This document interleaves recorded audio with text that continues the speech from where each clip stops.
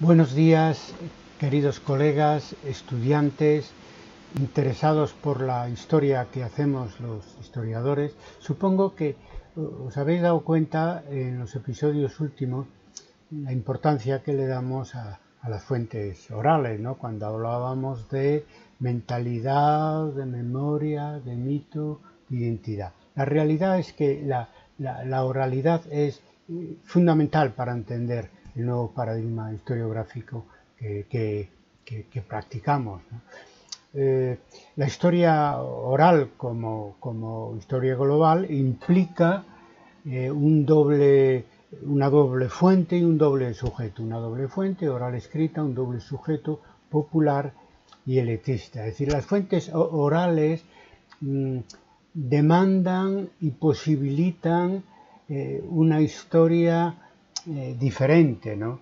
Es decir, una historia más diversa, más global, objetiva y subjetiva al mismo tiempo y obliga a revisitar las investigaciones históricas que se hubieran hecho exclusivamente con fuentes eh, escritas, cuando existe o, puede existir la posibilidad de, disponer de fuentes eh, orales.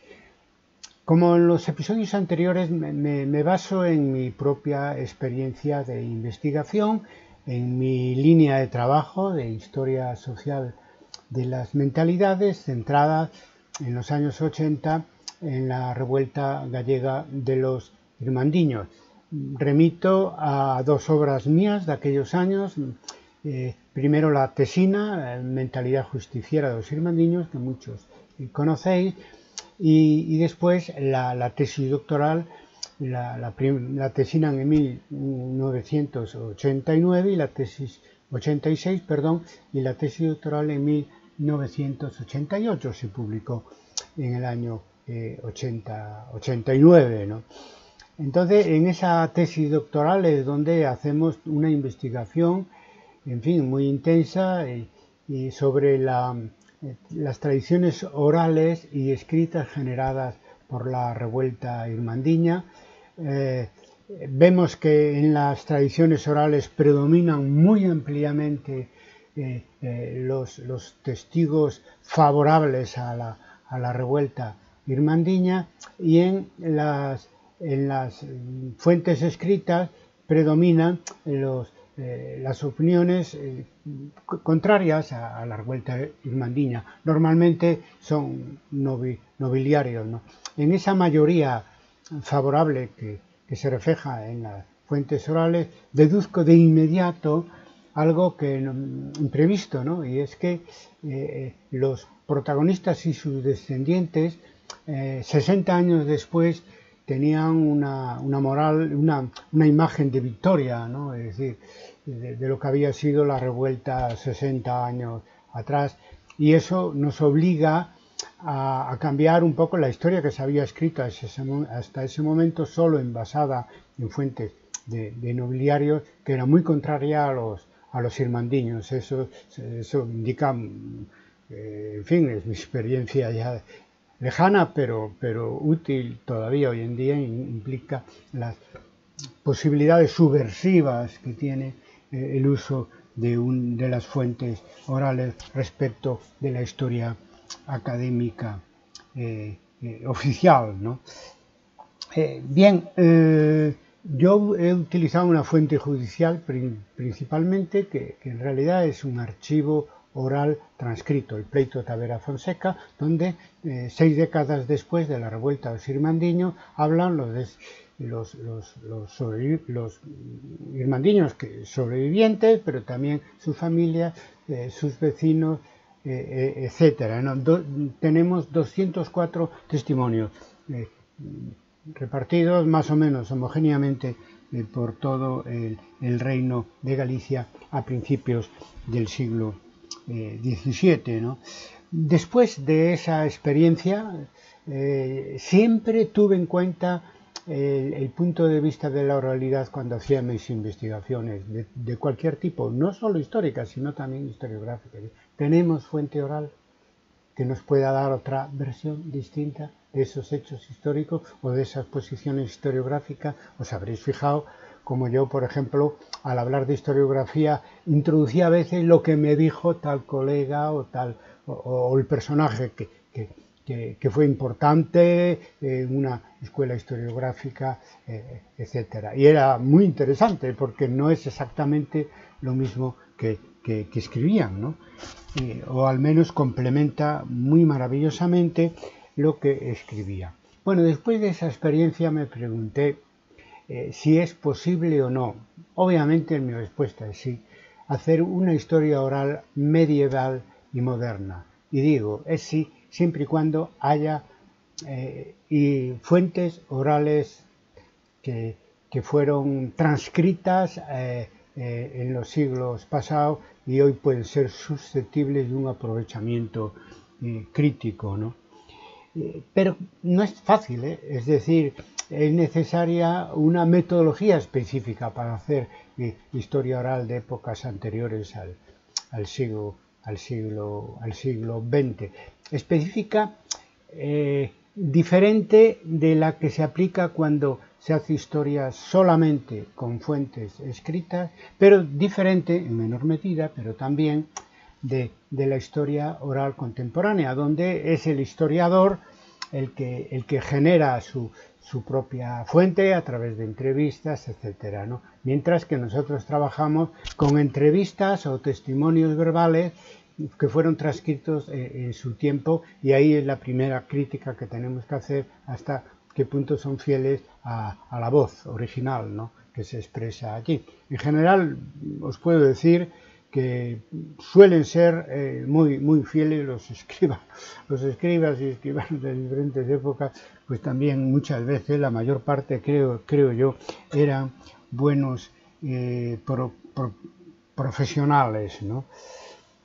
Bien, eh, yo tengo muy claro que se puede hacer historia oral en todas las épocas históricas, separando sustituyendo, digamos, la, la grabadora por, el, escribano que, hizo una fuente escrita donde se recogen informaciones de tipo, oral. Y se, puede, encontrar oralidad en cualquier fuente histórica, unas más que otras, pero en todas, ¿no? se puede despreciar nunca esa posibilidad de encontrar una parte oral parcial o, o total en una, en una fuente escrita del pasado, y me refiero a todo tipo de fuentes. Desde luego las judiciales, eh, es mi propia experiencia, ya os he hablado de ello. Desde luego las literarias, porque gran parte de la literatura para de, de, la mayor parte de las épocas históricas es oral, ¿no? Y también en el caso de las fuentes, yo que sé, notariales, por ejemplo, los testamentos, que es lo más, una, una, una de lo más conocido, ¿no? Pues eh, normalmente el sujeto dicta el testamento al notario, por lo tanto ahí hay una, hay una dimensión oral importante. E igual podemos decir de las fuentes narrativas, por ejemplo en las crónicas medievales, las arengas que aparecen transcritas allí antes de entrar en, la batalla. El origen de la historia oral es conocido que que nos lleva a, los principios del siglo XX en los Estados Unidos de América, donde se empiezan a eh, publicar testimonios de, afroamericanos para reconstruir eh, la historia de, esa eh, minoría social y, racial tan importante en, la formación y en la actualidad de los Estados Unidos de, América. ha pasado ya un siglo, ¿no? Pero sin embargo, mm, tampoco se ha desarrollado tanto la, historia oral, ¿verdad? Yo creo que por la resistencia, debido a las resistencias positivistas que han limitado su desarrollo y lo han circunscrito a, una especialidad académica, que a veces es la manera eso, de enviar al gueto, digamos, un enfoque historiográfico que, puede ser eh, eh, incómodo para, para, la historiografía eh, establecida. No solo pasó con la historia oral, pasó con, con, otros enfoques historiográficos en el pasado, que muchos de ellos al final, si tenían una base objetiva, eh, como en el caso de la historia oral, que es muy evidente, pues acabaron imponiéndose. Las resistencias positivistas, es decir, las críticas a las fuentes orales, por general son bastante, bastante facilonas, eh, quiero decir, y, fácilmente rebatibles para alguien que, que, esté familiarizado con los archivos orales. ¿no? Primero, la imprecisión a la hora de los datos, porque la memoria es menos precisa, la memoria oral, que, que que, la escritura a la hora de, por ejemplo, de hablar de hechos, de, fechas, de nombres, de lugares. Bueno, algo de eso hay. Pero nosotros nos estamos enfocando la, la historia oral para todas las épocas históricas para obtener datos. ¿eh? Principalmente nos interesan las mentalidades del sujeto humano que está detrás. Pero de todas maneras, quiero deciros que para eh, todo el conocimiento que tenemos hoy sobre la revuelta irmandiña de 1467-1469, la mayor parte de los datos salen del pleito de Tavera Fonseca, es decir, de una fuente oral. Por lo tanto, es relativo, aunque es, algo a tener en cuenta. Yo creo que simplemente hay que aprovechar las fuentes orales para otra cosa que para lo que nos ha enseñado el positivismo, ir más allá a la hora de escribir eh, la historia eh, si uno quiere tratar con, fuentes, con fuentes orales.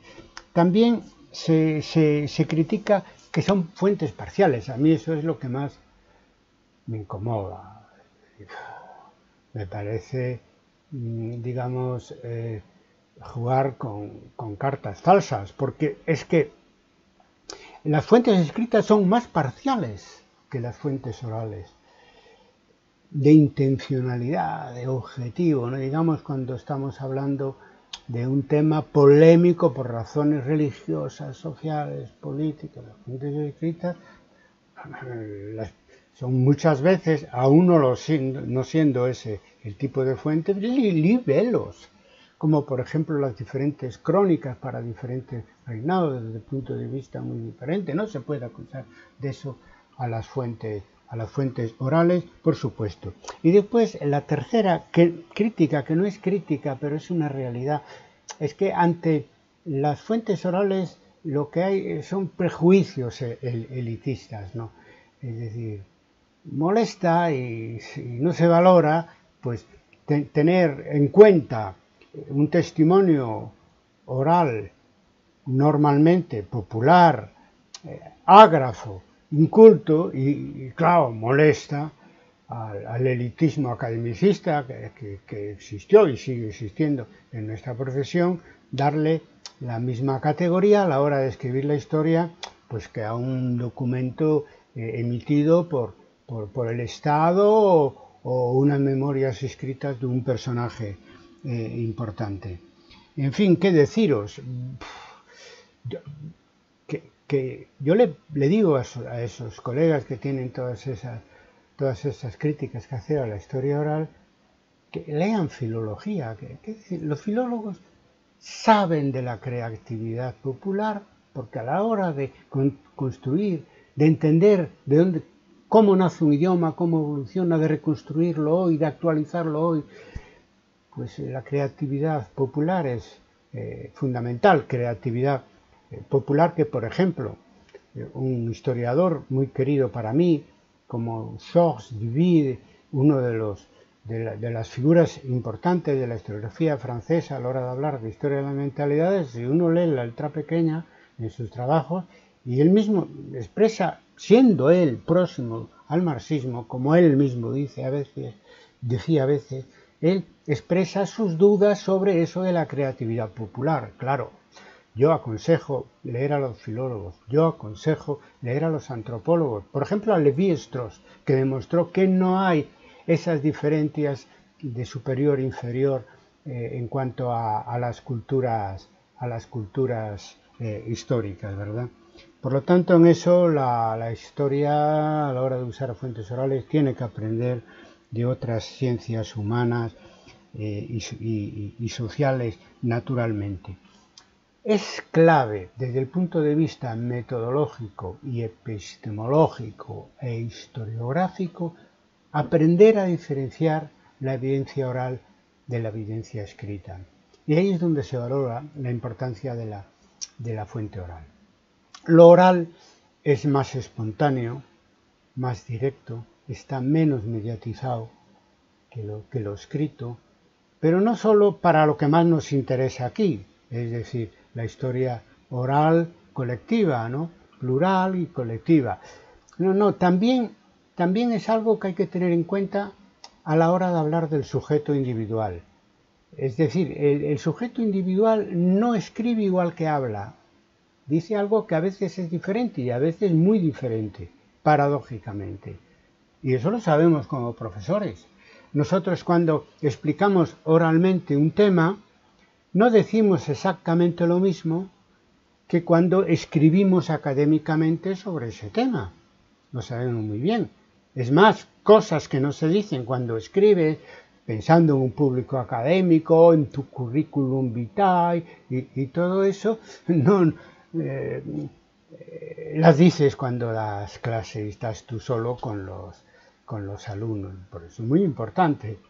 Habría que saber, por lo tanto, eh, a la hora de valorar a un autor, de saber lo que lo que ha escrito y lo que decía en clase. Bueno, hay, a veces, en algunos casos, los alumnos han, tomado nota y, se han publicado libros con las notas de los alumnos para conocer en toda su profundidad eh, y en todas sus dimensiones lo el pensamiento de algún, de algún intelectual, como, como sabéis.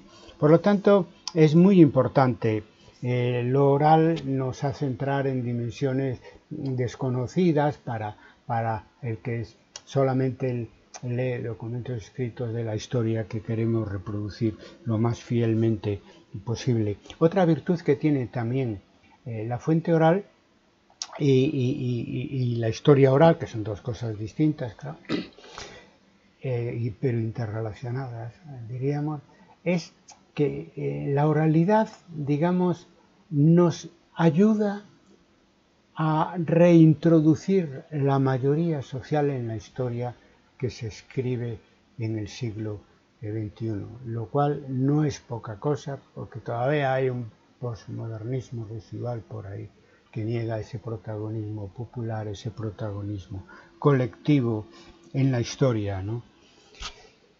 Para la historia del siglo XX, eh, los archivos públicos deberían plantearse hacer archivos sonoros y audiovisuales, es decir, archivos orales que, permitan ampliar las fuentes de las, que disponemos trabajando sobre testigos naturalmente eh, vivos, hacer eh, Considerar, por lo tanto, las fuentes orales tan importantes como las fuentes escritas a la hora de organizar el sistema público de archivos que afortunadamente está bastante desarrollado en casi todos, eh, en casi todos los países.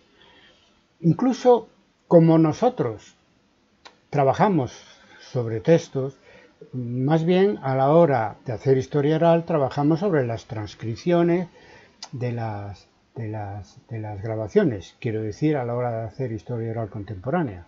Bueno, para eso también hoy hay facilidades porque ya ah, se transcribe automáticamente eh, un, documento sonoro. ¿no? Google lo hace relativamente bien, por ejemplo. Eso puede ayudar a, generar esos archivos sonoros, incluso con sus, transcripciones, aunque sean transcripciones eh, automáticas, claro, tendría que revisar después, pero eso lleva mucho menos tiempo un profesional. Lo que es una pena es reducir a, una historia que busca datos solos, es decir, hechos, eh, fechas, nombres y lugares.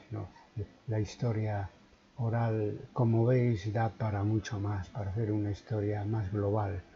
Eh, más humana y más social. Por eso que hablar de historia oral positivista, en mi opinión, es una contradicción en sus propios términos, aunque uno puede plantearse y decir, bueno, yo mi función es generar archivos orales y otro que utilice esos archivos orales para hacer historia. Eso sí que es posible. Ahora, reducir eh, la historia oral a la creación de archivos orales pues eso, es, digamos, infravalorar las posibilidades que tiene este enfoque historiográfico relativamente nuevo, ya es un poco antiguo, desde luego posterior a las nuevas a los nuevos historiadores del, siglo pasado y por lo tanto muy necesario para el nuevo paradigma del siglo XXI que estamos propugnando y practicando. Nada más, termino por hoy. Recomendaciones de lectura. Bueno, en este tema, como en los otros, en los últimos, eh, eh, mis, mis planteamientos metodológicos e historiográficos están integrados en las investigaciones empíricas. ¿no? De todas maneras, recomendaría la introducción metodológica a mi tesis eh, doctoral, eh, Mentalidad eh, y revuelta en la Galicia irmandiña, favorables y, contrarios, que, está en PDF en mi página web personal, en el apartado de libros. Y después de estas experiencias investigadoras y, y también historiográficas y metodológicas mías de los años 80, pues le, he seguido la pista al, tema, he dado conferencias, he hecho cosas sobre esto, que pasa que ninguna se, transcribió, conferencia, ni se grabó en su, en su momento, por eso no la puedo ofrecer a todos. Eh, os animo, por lo tanto, a, leeros al menos la introducción de mi tesis doctoral y os recomiendo unas publicaciones posteriores a mi descubrimiento de la, historia oral eh, pre, eh, anterior al siglo XX, que, son las, obras traducidas al castellano de un medievalista y, e historiador de literatura, además amigo de Jacques Le Goff, Paul Zumthor, ¿no? Z-U-M-T-H-O-R. por ejemplo, la introducción a, la poesía oral, la letra y, la voz, la poesía y la voz en la, civilización medieval, donde, eh, eh, se resumen eh, las investigaciones sobre la literatura oral medieval suyas y, de otros, y, se, abunda en esto que venimos hablando aquí de una mitología específica para hacer historia oral para, eh, en diferentes épocas eh, históricas. Nada más, eh, próxima semana hablaremos del género y la historia. Cuidaros que el virus sigue vivo y activo por doquier.